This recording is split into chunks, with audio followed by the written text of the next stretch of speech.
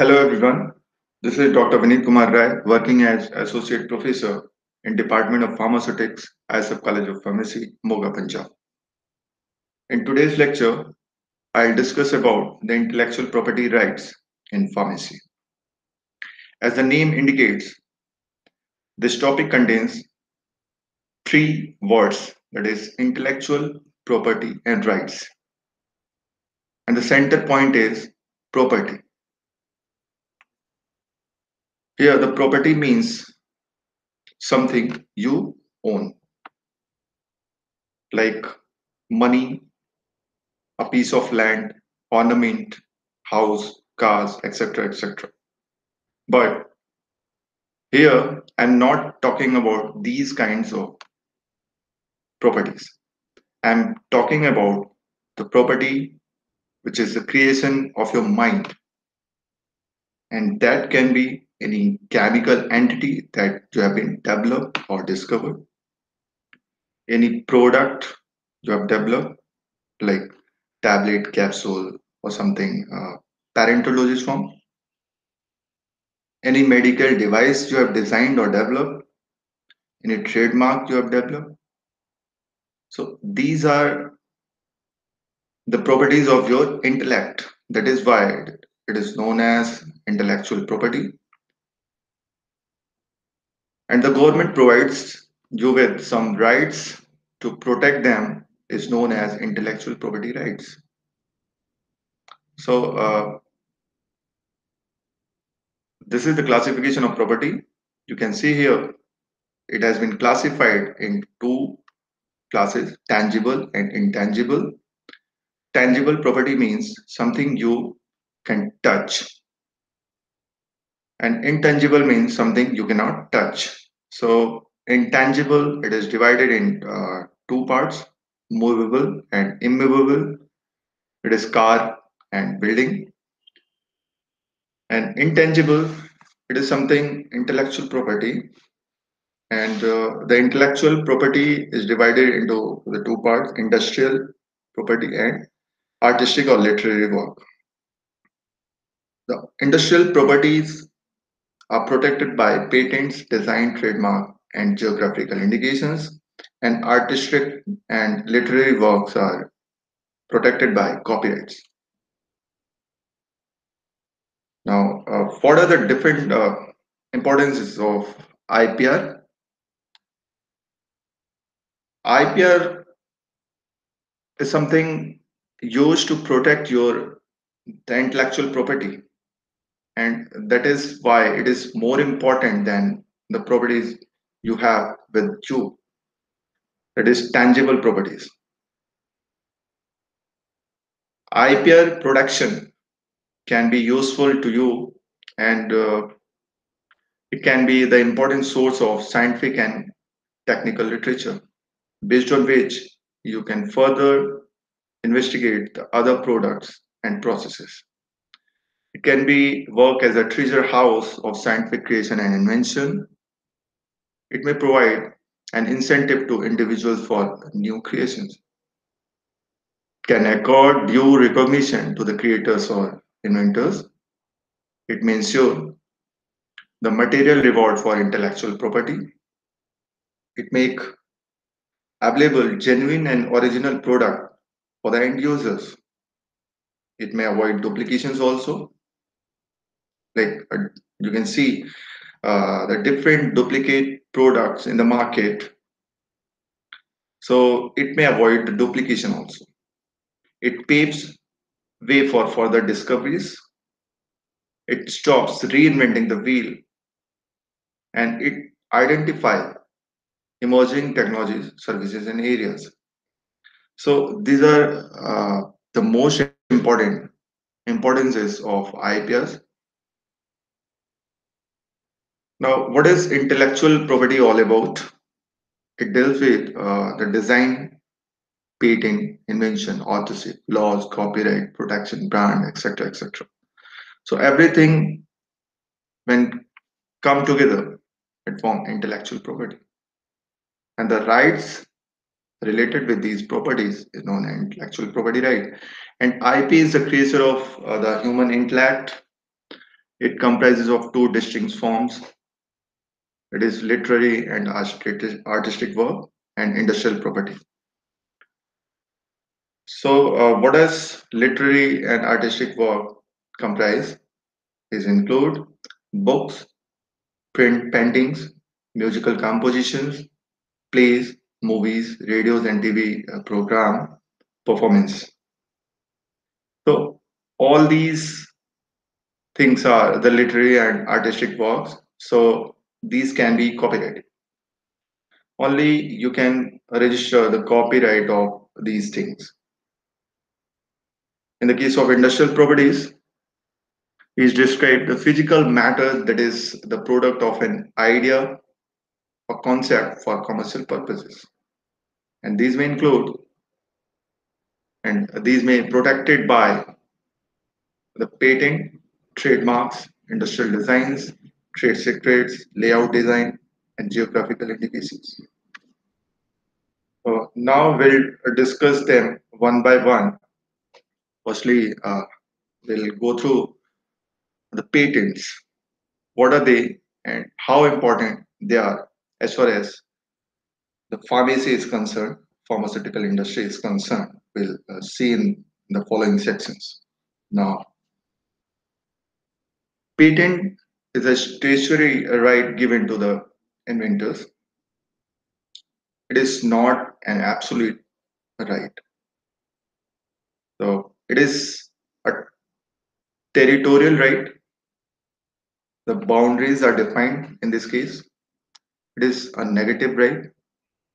I'll tell you in further slide what is negative right is all about. Now for it is for a limited period of time. Is granted for limited period of time and it is granted in lieu of sufficient disclosure. The inventions like products, processes, material, composition can be patented. And if your invention is providing some technical solution to any problem, then it can be patented. So it is statutory right. That means something you own, you have right to trade it, manufacture it, sell it, import it, but in some special cases, government can take this right from you. Just like in today's scenario, uh, it is a pandemic situation so if any vaccine or drug which is patented, then government can take over that and can help improve the production of those particular products from other industries also. So that is why it is not an absolute right which you can utilize for forever. So patent gives right to stop third party involvement for manufacturing, offering for sale, using it, selling it, importing it, distributing it, and licensing it. Okay, but it is not an absolute right, and whenever required, government can take over your patent for the benefit of the end user. Now, patent is a negative right because patent provides the right to the owner to stop the technology manufacture, sale, use, and import, uh, importation from others. Yes, absolutely. These pro, uh, rights protect them uh, to manufacture it, sell it, use it from others, but government can take over it. Okay?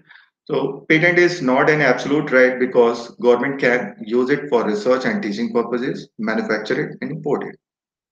That is why it is not an absolute right. It is an statutory right and it is an territorial right also because the boundaries are defined. If the patent is filed in India only, then it is patented in India. You can sell it, manufacture it in, uh, in India only. So uh, these are some of the very interesting examples. I think you all are uh, aware about these uh, examples and if you're planning for uh, the registration of any patent, you can go through uh, go through this website and file your patent. So, what are the different criteria uh, which are considered for uh, the patentability? Well, the first criteria is novelty. If your product is novel, then it, it is patentable. Novelty means something not available for the public use in any form. It should be non-obvious also. Non-obvious means something with the inventive steps. Okay. Now, industrial application, it should have some industrial application. And until unless your technology is not having any industrial application and uh, market demand, so you will not be able to patent it. So it should have some sufficient disclosure in the form of uh, repeatability data or reproducibility data. You have to provide it uh, during the patent uh, patent registration. Clarity of claims should be there, and it uh, relates to a process or product or both. You can file a patent for both product and uh, processes and uh, something which does not fall under the section of 3 and 4 of patent act 1970 and section 1 and subsection 20 of atomic energy act 1962 and the things which does not which uh, do not fall in these sections are described here. You can see the contrary natural laws, public order, morality laws related to human and animals, discoveries of living and non-living things present in nature, value addition with no beneficial effect, just mixing of two components to get additive effect, rearrangement of a known device, a method of agriculture or horticulture, a process of medical, surgical, curative, prophylactic, diagnosis, or therapeutic treatment, plant or animal, whole or in part, a mathematical or business models, algorithms, computer programs, literary or artistic work, method of playing games, and most importantly, all the material associated with the atomic energy. All these things are not patentable. So these are the patentability criteria Now, trademarks. What does it mean? It is something used to protect any word, name, logo, label, or monogram or slogan. And it is applied on the article of manufacture or services and it indicates the origin of goods and services. All these examples are the trademarks of pharmaceutical companies. You can see here Biocon, Sun Pharma, Abbott, Zera, Intas, Dr. Reddy's, Microlabs, uh, and so on. So this is how a trademark look like. Okay, so it is generally a brand or logo. Any name which is useful for trade is adopted as mark device symbol or monogram can also be registered under the trademark. Shapes of goods or their packaging can also be registered under the trademark. Combination of colors or even a single color in combination with word or devices can be registered under the trademark. Now, industrial designs. It is something the ornamental or aesthetic aspect of a useful article of industry. It gives spatial appearance, differentiate from our current products, and it is only aesthetic or visual form of a product, not the technical and not distinguishing feature that is trademark. If the you have to differentiate your product with some technical denotions, then it is patented and some distinguished features are used to differentiate the product that is uh, registered under the trademark. But as far as aesthetic or visual appearance are concerned, you register your appearance or design under the industrial design. Now, the ornamental or aesthetic aspect of an article consists of three dimensional features such as shape, surface, or texture of an article, or two dimensional features such as pattern, lines, or colors. Now, uh, a design makes the product attractive and appealing to uh, the consumers and adds commercial value for that reason. That is why industrial designs are registered. Some of the examples of the industrial design you can see here. You can design a medical device which is already exists. Anything you are doing to improve the appearance or aesthetic feel of any device or any instrument that is registered under the industrial design. Now, it is an exclusive right against unauthorized copying, and uh, the protection under this category lasts for 10 years, after which it is renewed for up to 15 years. It is meant to protect the external feature of any uh, product. Now, new shapes, pattern, or configuration can be protected under this category. The next point is uh, geographical indications. GI identifies agriculture, natural, or manufactured good that is associated with any territory, any region, or locality. So this is the main constant of this uh, registration. Now it possesses special qualities or reputation based upon unique characteristic of the product. Okay, now, GI gives protection uh, to the group of people. It is not an individual right. It is a community right, you can say, or association involved in the production of the product using traditional skills and knowledge. So once the geographical indications are registered, then whole community get benefited. Otherwise, in the case of patents, trademarks, only the individual or any company get benefited. Or here you can see the example of Tirur betel nut of Kerala. It is the only drug registered under the geographical uh, indication. Otherwise, the other geographical indications have been registered for agriculture based natural or manufactured goods or something uh, uh, related with the spices. The manufactured goods should be produced or processed or prepared in the territory. It is the main constraint.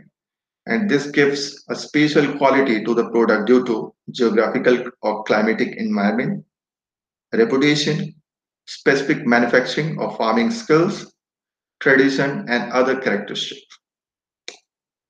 Okay, now it consists of the name of the place of origin and originates from a definite geographical territory. Darjeeling tea, Kanchipuram sari, Kolhapuri chappals, Tirupati laddu, Nagpur orange are the other examples of geographical indications. Now, copyrights it is given for the artistic or literary work. And copyright is a legal term describing rights given to the creator for their literary and artistic work. These works may cover literary works, uh, for example, novel, poem, plays, reference work, newspaper, and articles. It can be uh, any computer programs and databases, films, musical composition, dance and theatrical productions, any artistic work such as paintings, drawings, photographs, or sculpture, architecture, advertisement, maps, technical drawings, and manuals can be registered under this category. It is a proprietary right. It comes into the existence as soon as the work is created. Okay, so you need not to go for copyright immediately. You can uh, register copyright after some time also. But once the work comes under the existence, it has been copied. Okay. Now it protects skills and labor employed by the creator in production of his work. So the message is to stop copying and uh, take the copyright your own creature. Now coming to the Indian patent, uh, sorry, Indian intellectual property law. As far as uh, this these laws are con concerned, there are many big and small intellectual property law firms worldwide situated, like in India, USA, UK, Chicago, etc., etc. And these are providing quality help to inventors and creators of product. Okay, and uh, these are situated to protect your own right. So apart from that, there are many attorneys and law firm of intellectual property in India in various states. I'll tell you in the next slide.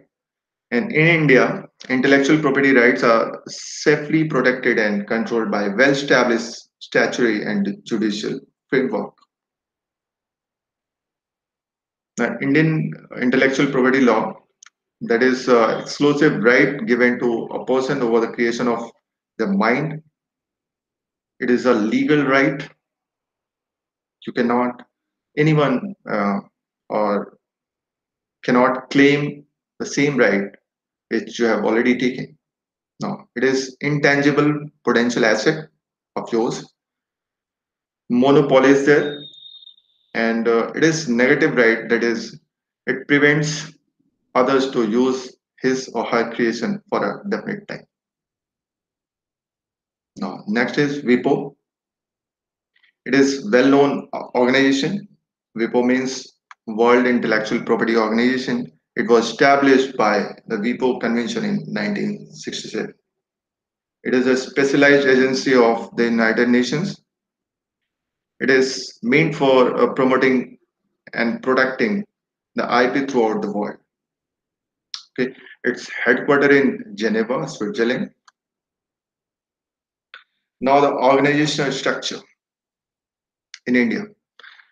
Ministry of Commerce and Industry, Department of Industrial Policy and Production govern uh, the production of intellectual property and uh, Controller General of Patent, uh, Design and Trademark um, is also involved and you can see here the patent design office offices are situated in Kolkata, Delhi, Mumbai, Chennai. And uh, Kolkata is a headquarter, head office, you can say. And trademark registry, Kolkata, Delhi, Mumbai, Chennai, Ahmedabad. So if you're going for the registration of any trademark, then you can visit these sites only. And geographical indication registry uh, is done in Chennai only. And patent information center is situated in RG NIIPM Nagpur. Validity of intellectual properties.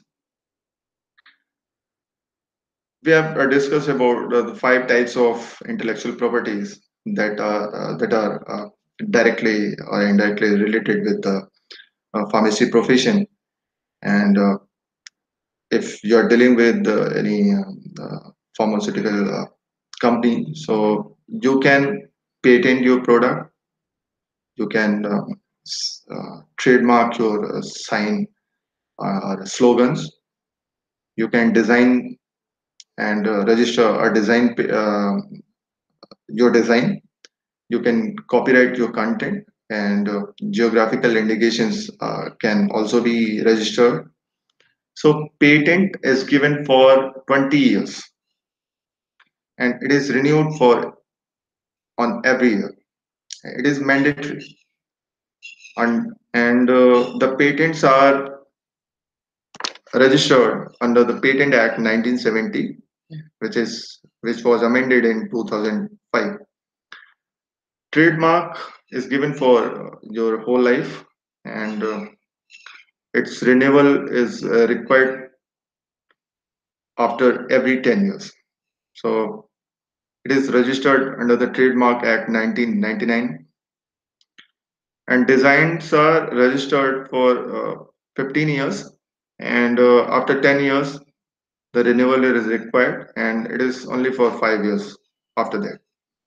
And uh, it is registered under the design act 2000 copyright is registered for a period of 60 years in india.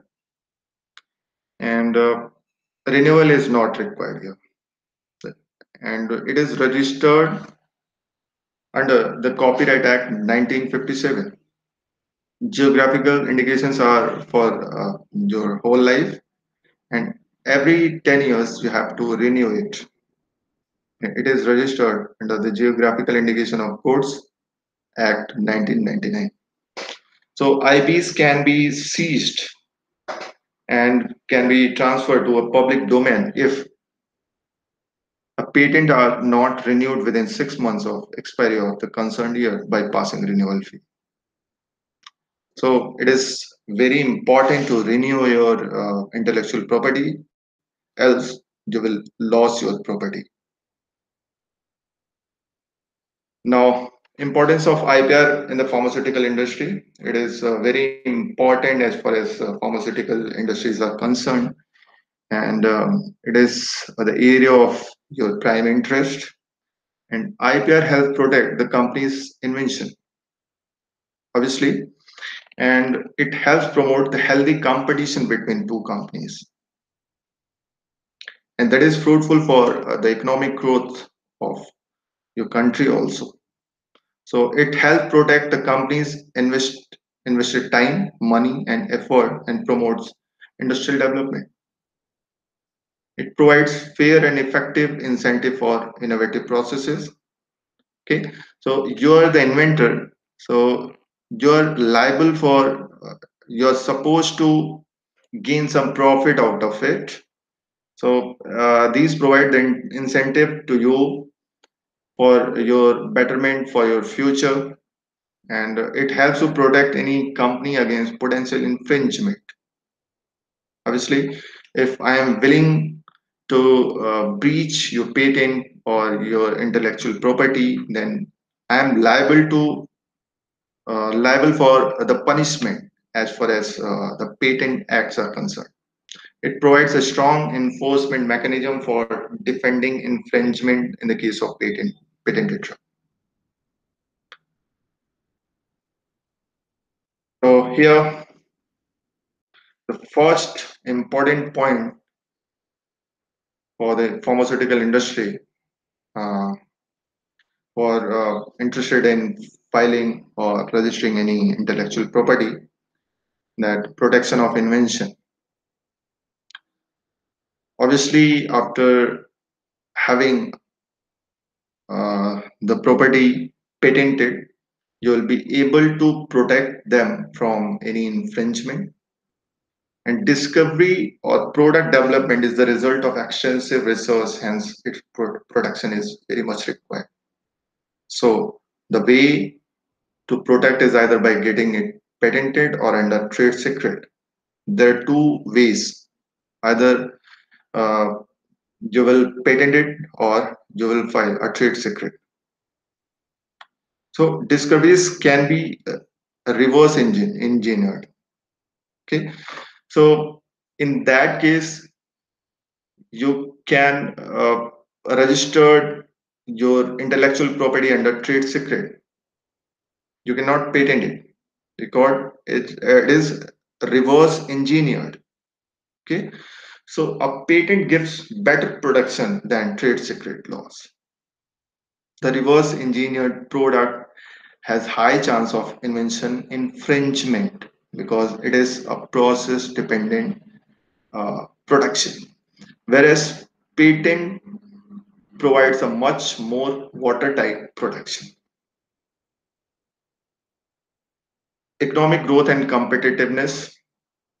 Obviously if you're protecting your uh, intellectual property then uh, it will be beneficial for the economic growth also and competitiveness ipr helps grow the country's economy It helps inventor gain profit and invest, invest more in research and development. IPR helps grow a competitive market. It awards sole right to the inventors. It gives them privilege of re, uh, reaping the profits. You will get more benefit out of it if you're filing the patent of your product. Now, it gives marketing right to solidate to the inventors the company can earn a lot and reinvest it.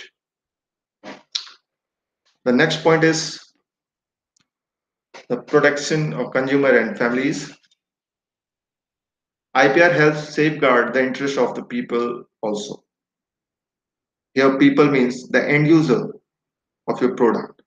The safety and the quality of the products are assured if the product is patented, but it is not uh, possible to control uh, the uh, safety and quality of the product in the case of generic products because uh, some of the companies are uh, very much interested to make more and more profit so they compromise with the safety and quality of the products so it helps the consumer to make the right choice IPRs help companies to compete and help reduce the price of the product also. So that uh, that is why it is very much required.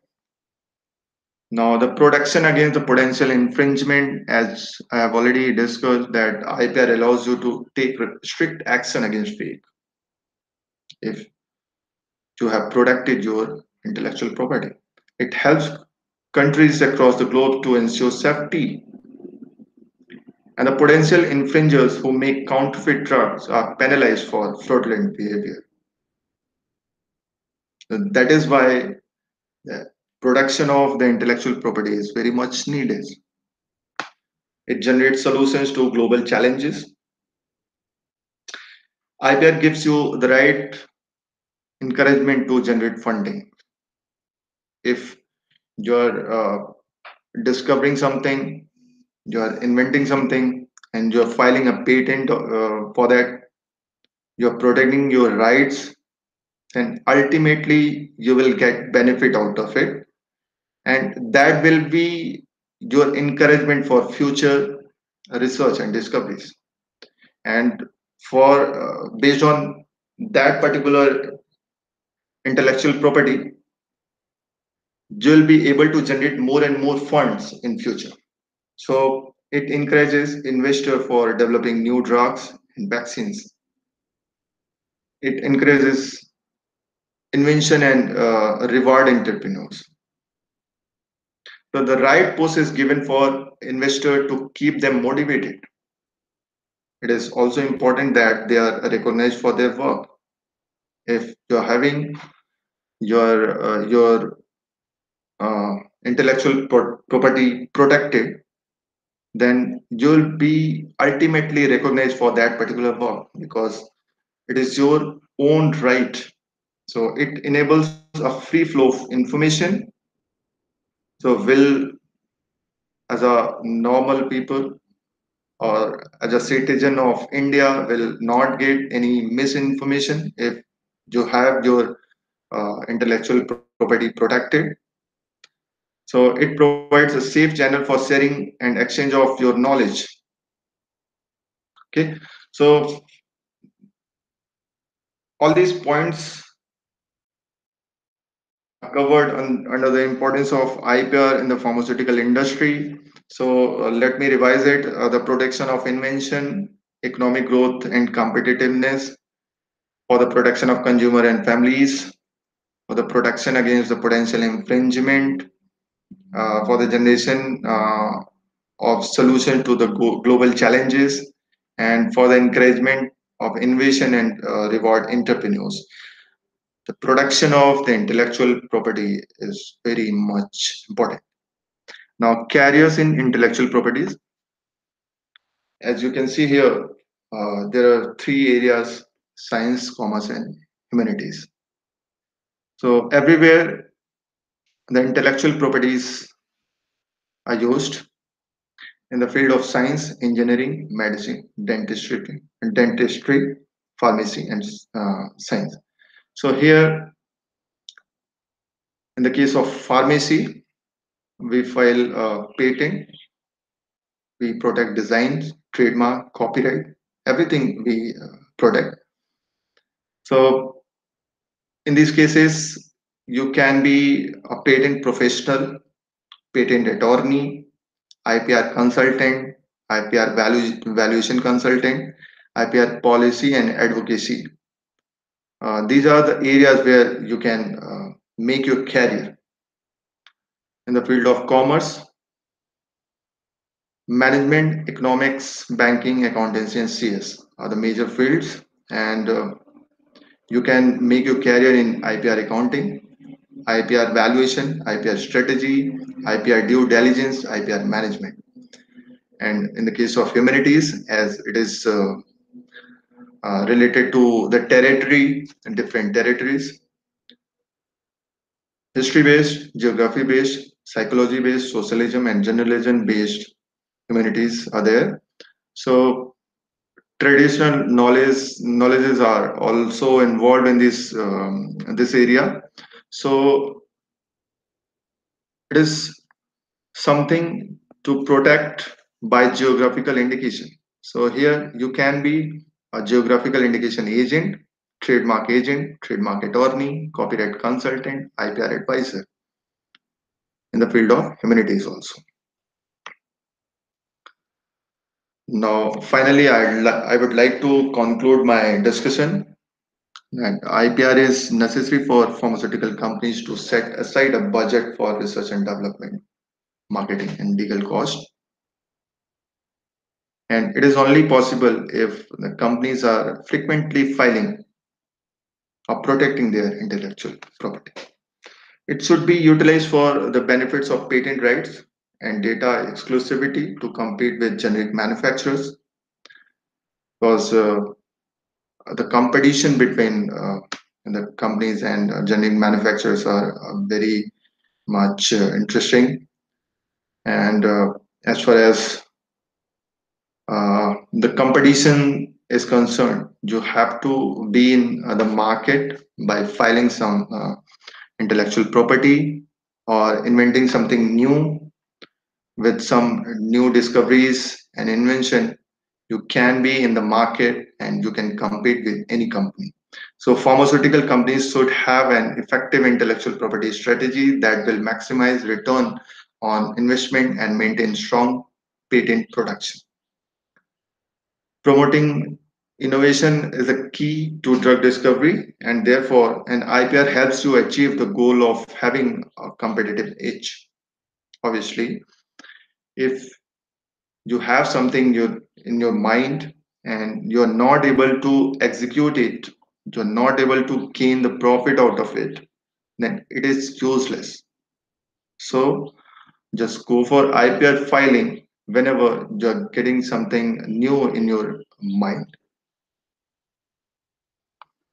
a developing country may not allow branded profit making countries it is very interesting that uh, IPR filing is very much important for uh, the economic growth, but after IPR filing, the product cost is uh, very much high. So it may not be useful for uh, the developing countries, very much useful. That is why the developing countries are always oriented toward uh, the generic market rather than uh, the patented market. So Indian market is still developing and the customers require cost efficient product and high cost, uh, not high cost drug. IPR will help to brand several companies which might not be fruitful for the Indian citizens. Okay, so uh, the local brands in India in the past few years have been gaining an advantage. So it is a uh, point of concern also.